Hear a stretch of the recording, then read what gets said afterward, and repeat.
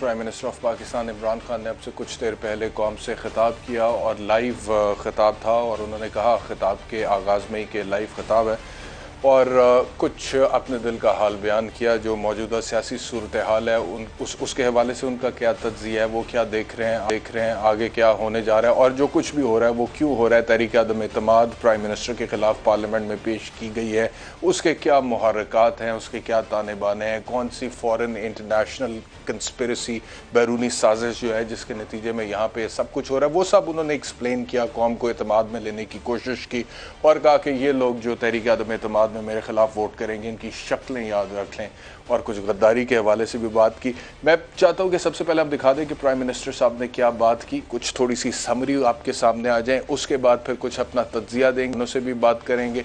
पाकिस्तान तहरीक इंसाफ की prime minister साहब की, इस सारी सूरत हाल के हवाले से जो असेसमेंट है, क्या वो दुरुस्त है और क्या जो हमत अमली अपनाई गई है प्राइम मिनिस्टर साहब की तरफ़ से तहरीक आदम अतमाद को लेकर, क्या वो दुरुस्त है? प्राइम मिनिस्टर साहब को जो मशवरे दिए गए क्या वो दुरुस्त है? नेशनल सिक्योरिटी कमेटी का जो इजलास बुलाया गया जिसमें चारों चीफ्स मौजूद थे D G I S I मौजूद थे, इसको वहाँ तक लेकर जाना चाहिए था।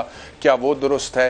क्या जो प्राइम मिनिस्टर साहब की असेसमेंट है, इस सारी सिचुएशन के हवाले से, मरासले के हवाले से कि एक बैरूनी साजिश है, जिसके नतीजे में तहरीक आदम अतमाद हो रही है और ये कौमी सलामती के लिए ख़तरा है। आला अस्करी क़्यादत उस इंटरप्रटेशन या उस तशरी को एग्जैक्टली exactly वैसे ही शेयर करती है जिस तरह से प्राइम मिनिस्टर शेयर करते हैं।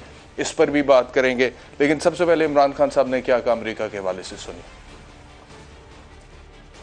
आठ मार्च को या उससे पहले सात मार्च को हमें एक अमेरिका ने एक अमेरिका ने एक बाहर से नाम आ, मतलब मेरा कि किसी और बाहर से मुल्क से हमें मैसेज आती है और मैं इसलिए आपके सामने ये मैसेज की बात करना चाहता हूँ। ये एक किसी आज़ाद मुल्क के लिए जिस तरह की हमें मैसेज आई है ये है तो प्राइम मिनिस्टर के खिलाफ ही सिर्फ़। लेकिन ये हमारी कौम के खिलाफ है। तो वो कह रहे हैं कि हमारी कौम के खिलाफ है। फिर उन्होंने कहा कि एतवार को जो कुछ भी होगा वो आपके सामने होगा लेकिन जो कुछ भी होता है तहरीक अदम अतमाद अगर कामयाब भी हो जाती है तो इमरान खान मजीद तगड़ा होकर सामने आएगा ये भी सुन इस संडे को इस मुल्क का फैसला होने लगा। ये मुल्क किस तरफ़ अब जाएगा? मुझे लोगों ने किसी ने कहा, जी, वो इमरान खान, आप रिज़ाइन कर दें। मैं रिज़ाइन कर दूँ? मैं जो मेरे साथ क्रिकेट खेलते थे, वो सारी दुनिया 20 साल जो मैं खेली है, आखिरी गेंद तक मैं मुकाबला करता हूँ। मैं कभी हार ज़िंदगी में नहीं मानी।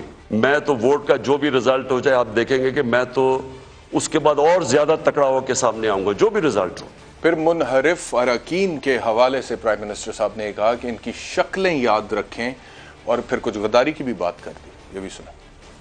बाहर की कुवतों के साथ मिलकर एक मुल्क के अंदर ये वो चेंज लेके आ रहे हैं, जो कि याद रखे, मैं फिर रिपीट करता हूँ, सारी ज़िंदगी ये कौम आपको भूलने नहीं देगी। ये वो आप करने जा रहे हैं, जो आने वाली हमारी नस्लें आपको माफ़ नहीं करेंगी। इस कौम से ये जो गद्दारी हो रही है और ये जो होने जा रही है संडे को, मैं ये चाहता हूँ कि एक एक लोगों का एक एक गद्दार की आप शक्ल याद रखना। ये कौम ना ये भूलेगी, ना आपको माफ़ करेगी, ना जो लोग आपके पीछे उनको माफ़ करेगी। और ये अगर आपका किसी का ख्याल है कि इमरान खान चुप करके बैठ जाएगा, किसी खुशफहमी में ना रहे, मुझे स्ट्रगल करनी आती है, मुकाबला करना आता है।